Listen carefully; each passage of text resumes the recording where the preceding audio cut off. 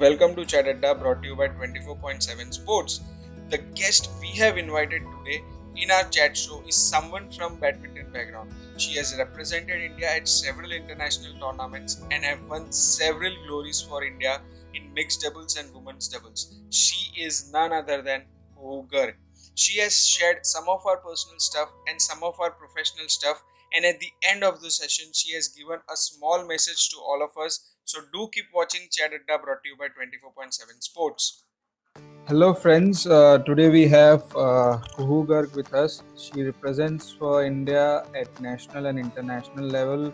Uh, so thank you Kuhoo for joining us. It's a, it's our honor to invite you Thank on you. our platform.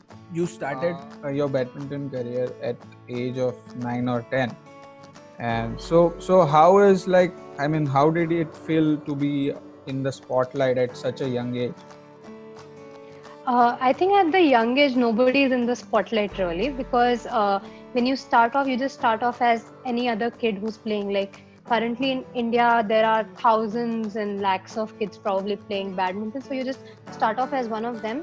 And basically, when you start performing, maybe uh, like I won my first All India title in the under 13 category. So that's when you like start getting into it a little bit. Then also, Okay. I would say that it's a very small small level. And basically it's the people who are performing in the senior category who actually enjoy the spotlight. Right right. Okay like uh, always school is a fun part for us. Like school time is Yeah. always remembered i mean it's a memory for every one of us. So uh, were you uh, studious during your school time or you were like notorious? I was a very ideal student many teachers would say like uh, in the parent teacher meeting and all they be uh, telling my parents that uh, Kuhoo is a very uh, well disciplined well behaved child and her work is always up to date. And uh, her notebooks are always uh, like she has completed all the work and she's more regular than even the regular students. So i was always i think a very good student in that sense. I never made any uh, like there were any, never any complaints against her. okay okay so you were studious kind of i mean academically you yeah. were strong kind of Yeah, like uh, I even scored 94% in my 12th grade board exams, Okay. and uh, I finished my graduation in economics honors from Sri Ram College of Commerce, which is India's uh, number one college for commerce. So, okay like okay. uh, that way, I've uh, never let uh, sports compromise with my studies up to Mhm. an extent. right right so uh, so were your uh, the the colleges the school school where you studied so usually what happens is uh, there is a great role of principal and teachers in Yeah. your career as a sports person Yeah. so were Yeah. they supportive to you or not yeah uh, i always like especially during the middle school and high school you can say after the under 13 when it's when, when the traveling becomes even more frequent and you need to be spending longer hours for training. So in those days the school was very supportive. Like they allowed me to come to school uh, a little bit late so that i could attend my morning training sessions. And uh, from my morning training sessions i would directly go to the school. And after school then again i would go for my evening training sessions as well. So the school was always supportive in that sense that they gave me a special permission to kind of uh, enter late every single day. And also whenever i would go for tournaments or anything and i would win something so the school would uh, like uh, felicitate me in front of all the other students. So it was all it always felt very good. And there was a lot of encouragement from the teachers. They uh, and the principal especially like many times she personally invited me to her office to congratulate me. And uh, she knew me very well. So it was very nice in the school and even in my 11th standard when i shifted to gopichand academy so they did not uh, they supported me completely with my exams my practicals my all sorts of other activities. The school was fully there for me so i never faced any problem during the school days. Right. and even in college like srcc being such a reputed college and india's best college so definitely the teachers there have slightly higher expectations from all their students as they have very limited seats so Hmm. sometimes they might be a little skeptical about the students coming in through sports quota or who are involved in a lot of activities because I mean the cutoff normally goes up to 99% and it's very high. It's very Right. difficult to get in there. So Yeah. they are a little uh, they're not Skeptical about probably as yeah they're not probably as helpful but still i think uh, i'm just glad that i was able to manage through the entire course and uh, the college was very supportive in the sense that they never bothered me with any attendance issue or anything of that sort Mhm. and uh, you know even without having any attendance i was able to give the exams i was able to write my exams and finally just uh, pass through the degree Right, right. So they were like and uh. A- average. I mean, during college it was average, but at least in the school time you were very yeah i mean to be honest motivated ex- from a college like Sri Ram College of Commerce uh, I think it's fair enough even if I'm getting this much leniency it's pretty good because I'm while continuing sports full time I was able to fo- uh, complete a degree from the best college of India and Right. I mean economics honors in today's world is a very uh, very high rated and very yeah. like Yeah, at least in such situation when everything has gone down. Yeah. And Uh, uh, can you just share one best memory of your school school time? Uh, like uh, I have a lot of memories from school time in the break. All of us friends we used to be playing games a lot of times. We used to be buying brownies from the school canteen, buying ice cream and other eatables, and we would be playing Mm-hmm. uh, with a you know uh, sponge ball. We would be playing squash on the walls. Yeah. So and uh, we would be having these uh, in our especially in our 9th and 10th the cbse had started a system called cce continuous comprehensive evaluation so that involved a lot of projects and instead of like everything being based completely on exams a lot of Mhm. weightage was given to other assessments which involved Mhm. group projects and uh, you know plays and radio shows so those activities with the with my friends those are i think the most memorable things for me so we had a radio show and then we had some nukkad natak in hindi. Mhm. and we had a history project where we had to dress up somebody with newspapers. Right. so and then you know for english having the julius caesar play or the merchant of venice play. So Mhm. these are some of the best memories from school days right. Right. Great. I mean so what according to you is importance of studies? As you previously mentioned that along with the sports uh, there is there is a great importance of studies in a sportsman a sports person's career.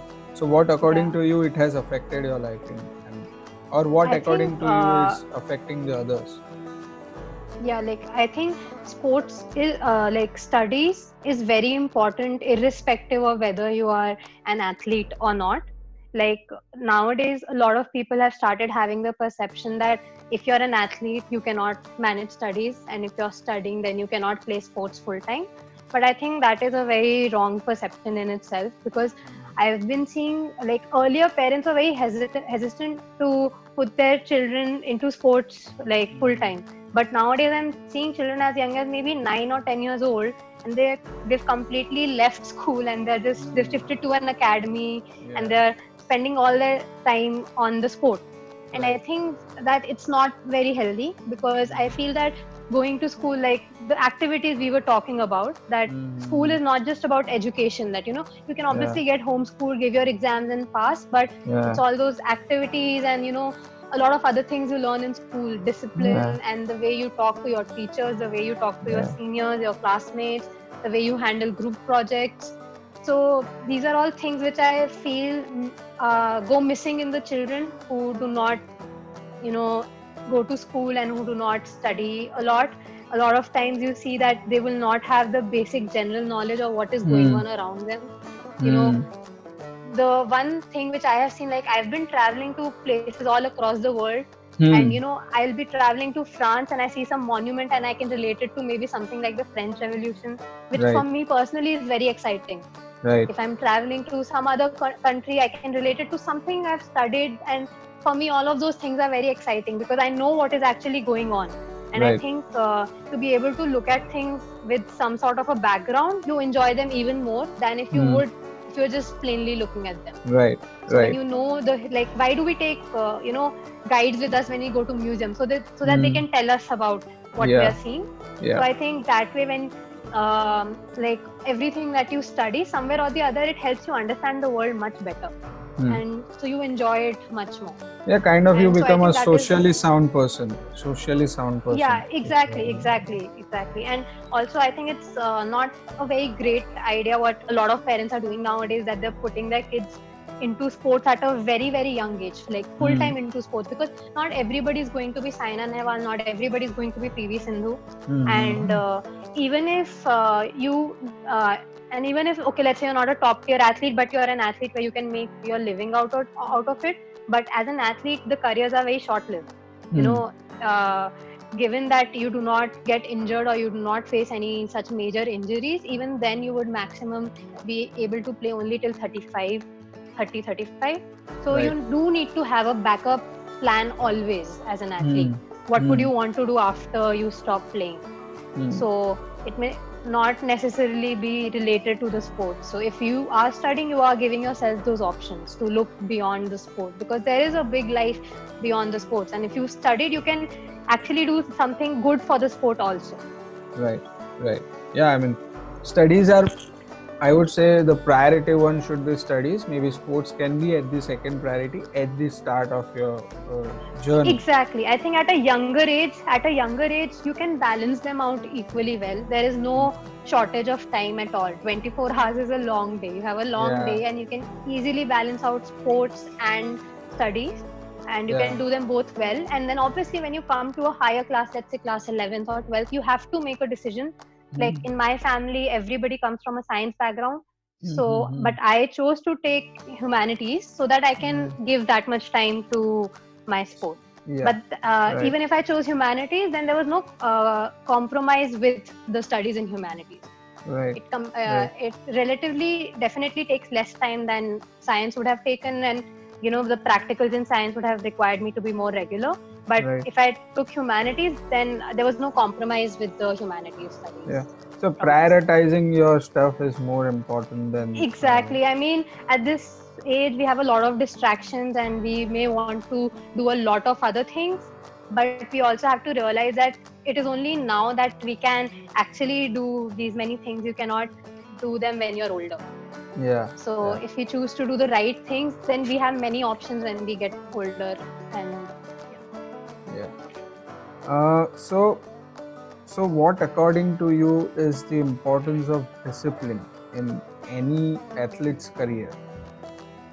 I think discipline is the most important thing, and I think for me, discipline is basically it's about uh, not cheating yourself. If you've made made a schedule for yourself, or if you've set a goal for yourself, then you have to work in a certain way to achieve it, and it's about not cheating with yourself. You know, so it's about uh, uh, like uh, taking charge of of the things of everything you need to do like for an athlete it will be their diet it will be their training it will be their on-court training it will be their mental training mm. so hmm. you have to take charge of all of these areas and uh, i mean you have to be true to yourself that you're giving your best in all of them and right. you know for that like the basic things like being on time or uh, you know sleeping having ample rest. These these are very basic for all of that. So they just fall into place. Right. once you are i think focused on your goal and you are true to yourself then i think discipline automatically comes in. Yeah right right. So uh, some of your recent achievements like you won a gold in the asian south asian games for women in the women's team then uh, yeah. there was one more in uh, mixed doubles, uh, if I'm not wrong. women doubles. A, women uh, doubles. Women's doubles. You women won a bronze, bronze, medal. Bronze medal. Yeah. So how was yeah. your feeling after winning that? Uh, to be honest, it was my first time being selected for the Indian contingent going for a multi-sport event. So I was hmm. definitely very excited because I mean, when you're traveling like this as a part of the Indian contingent, it is a very big thing, and I think it is what every athlete dreams of. So it was a very special feeling to be selected and to wear the Indian blazer and uh, you know go with the team. And to be able to get a medal is even better. I mean, yeah. I I wish that even that bronze medal could be a gold, but um, uh, we did our best for the country, and I'm happy that we could come back with two medals from the South Asian Games. Right, right. I mean, I would say congratulations, and uh, I mean it's a proud moment for any Exactly. athlete to win a, a gold or a bronze for the national team. Yeah.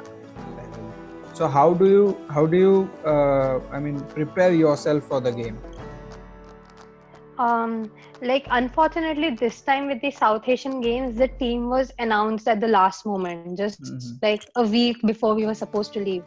So at that time, we were already playing a lot of tournaments. We had four continuous tournaments, and after that, the South Asian Games in Nepal. So unfortunately, we could not prepare the way we, we would have wanted to. Had we known that we, we are in the team and we're a little bit earlier, we would have probably skipped those tournaments, had a month of training, Mhm. worked on all those you know specific points we want to like our weaknesses and our strengths Mhm. and then gone in with even more confidence because i mean playing four tournaments in a week your body is definitely not not in peak condition right. and that reflects on the court so yeah i would have uh, loved to have had that chance to prepare much better for these games right. But Right. still i mean despite having played four tournaments it was on our mind that this is a very important tournament and uh, we are here playing for the country and irrespective of our body condition and irrespective of whatever we may be facing we just have to go and give our 100% and try our best to get the best performance possible because this time it's not for us it's for the country country. Yeah, great. So there are chances that at times you win, at times you lose. So how you keep yourself motivated in such situations? I think the most important thing is believing in yourself and believing in your capabilities. Uh, like I think in in our mind, minds, all athletes have know like where they stand and what they're capable of doing. And ups and downs are a part of any athlete's career. So you you will not perform your best in every tournament. But even in the ones where you let's say you did not have a good day, you did not play your best. But Mhm. somewhere inside, I think I always know that it's okay. It was just a bad day it doesn't Right. mean that I don't play good. I know where I stand, I know what I'm capable of, and I'm going to work even harder and I'm going to get back to that performance. And also, what really helps me during these times is going back to the very basics. Instead of Mhm. thinking too fancy or, you know, just going back to the basics, like even if on the court, if I'm feeling today I'm not at my best, the thing probably that I will tell myself is that just try to keep the shuttle in and not make any mistakes. Try to keep Mhm. moving and just try to keep playing safe. Right. So you go back to the basics. And if I'm, let's say, I've had a few couple of months of, you know, low performance. So what I would personally do is I would uh, take a longer break try to get my fitness up because I think when you're fitter, automatically the confidence comes up that yes, I'm fit enough. I'm not going to get tired. I can play the lo- longer rallies, and you know, so you get the confidence, and so you get the uh, your basics. Uh, you make your basics stronger. You get fitter, and then you're automatically more confident. And once you're confident, you are able to perform well again. Right. Yeah. Uh, so it's like uh, I mean, if you are taking a step back, it doesn't mean that you have lost. I mean, you you are preparing out for a much bigger thing. yeah i mean even even when you take a step back i think it's always important to know what you're capable of at the back Hmm. of your mind not to forget those good performances and those uh, you know some of your best performances on court so you Mhm. always have that that yeah i've already played at that level i can obviously reach back so you try to do the things you did when you were playing at that level and Mhm. i think they help you a lot yeah. because if you lose track of that then th- that is when you start losing belief in yourself and then then that is when it gets dangerous if you don't have belief in yourself then it's difficult to come out of that slump Right, right. So, uh, I mean, your career timeline has been uh, incredible, at least in the recent past. Like, you have won Iceland International, Egypt International, and you have won at Nepal International. So, so what is there next in your list? I mean, what are you aiming for next? yeah like um, as far as i see my career in the last two years uh, i have played uh, world tour super 100 final i have won international challenges and international series and also reached a ranking of 34 played at the you know got selected for the world championships and the badminton asia championships so these are i would say some milestones that i have reached. And uh, further for me would be like uh, you know uh, winning medals at the super series level and uh, at the world championships level and Mhm. then also getting into the indian contingent for the commonwealth games and the asian games and finally the olympics like olympics is the ultimate dream.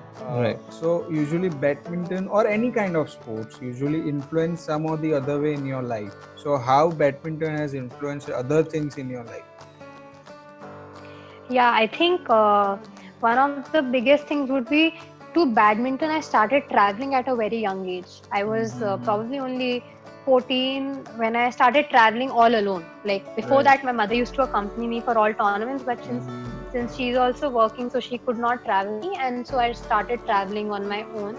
Hmm. And uh, for us, for in my family, that was a new thing. That you know, a young girl, she's traveling on her own, staying on her own. So uh, I think that made me very independent, and uh, you know, also I would say it's kind of brave that it gives you the courage that you can handle things on your own. And uh, soon I also started traveling internationally, so I've had a lot of exposure.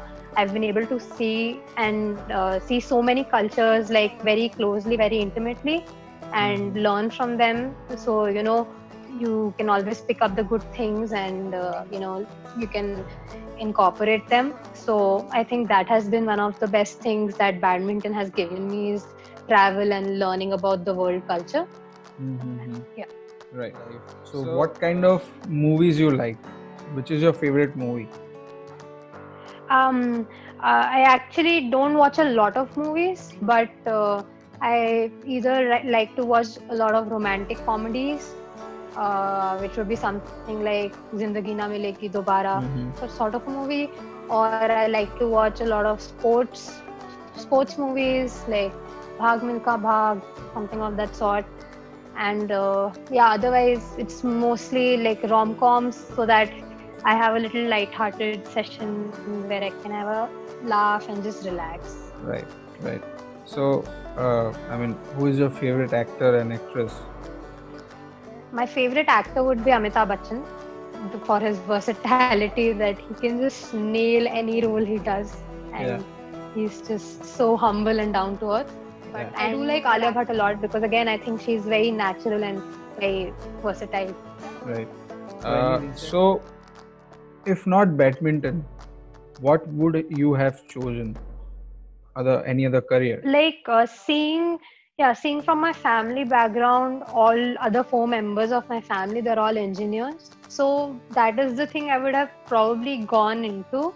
But now I'm I, I really feel that what I would want to do even now besides badminton would be something into like uh, nature conservation and wildlife conservation and something along those lines. Uh, first question would be who is the prankster in the Indian team, according to you? Uh, that would be my old partner Rohan Kapoor. Okay. So, who, according to you, is God gifted in, in the Indian team? Um, I think Satvik. Satvik's like a really talented player, uh, not just in terms of his skill, but also in terms of his physique. He has been God gifted with Right. like all of them. So, who is always late during the team bus? I think Chirag Shetty is late most of the time, as I've Right. seen. And who is late during team meeting? Same. Chirag Shetty only. Same, yeah. Right. But in the other case, who is before time for both the things? Uh, Anoushka, she's always super early for everything. Even every training session, everything she's like really early for it. Right. I guess Anoushka plays with you in mixed or in women's yeah, doubles. we play women doubles. Yeah, we've been Right. playing for a year. Right. So, uh, who is always calm and relaxed in the badminton court?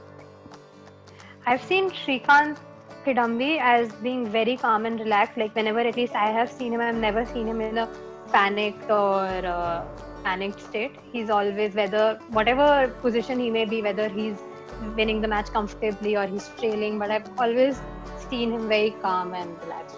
Right.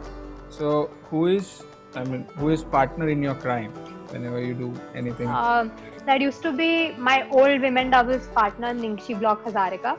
So Right. we were like best friends and we would do all sort of naughty stuff together. Right. So, are you a morning person or a night person? I'm actually neither. I don't like any of them.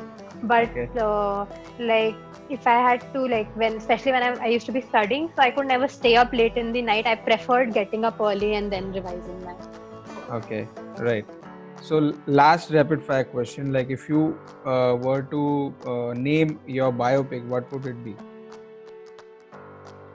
um i don't know like maybe something like everything happens for a reason so just go with it right move with the uh, flow so who according to you is your inspiration and role model for you I mean, throughout your career i think my father has been a very big role model for me because uh, he's an IPS officer. Like he comes from a village, and after that he went to IIT Delhi, did his BTech, MTech, and then cracked the civil services. Mm-hmm. So for me, I mean, it's a really big inspiration how he has achieved so much in his life, and I see him every day going out and working for the masses. Like even now during the Corona virus, uh, like this whole situation, like he's the DG Law and Order in Uttarakhand, and he's handled the whole situation really well in in our state. That right. we have very few cases here. Right. And uh, so, I mean, he's a very big inspiration from for me. The way he does things and he manages everything. Right. And the way right. he's come up he's built himself up without any support. Right. So lastly any message that you want to give to all the youngsters listening us or watching us or watching us in our show? Yeah i would just like to say like as i mentioned earlier also that uh, you know in today's world we have a lot of opportunities. So don't limit yourself to a few options and you can do multiple things at once especially when you're younger. Now is the only time that you can do so many things. So use this time properly and learn as many things as you can so that you can actually decide what you want to do later when you grow up. And you you know uh, expose yourself only to a few limited options so you do not have as much of an idea as to what you may like or what you may be good at. But the more options you expose yourself to so you will get a better idea of where your talent lies or and what you enjoy the most. And so you you can have a better life going ahead. So you know whether it's sport it's uh, studies or any other activity just uh, do everything uh, try to do as many things as you can when you're young right Right. Uh, thank you so much, Kuhoo, uh, for joining us. It was our pleasure inviting you, and you have been uh, sporty through, throughout this chat session. You have been giving good answers, and uh, uh, you just accepted it uh, at the first go. Thank you so much. Thank you. It was great being on the show.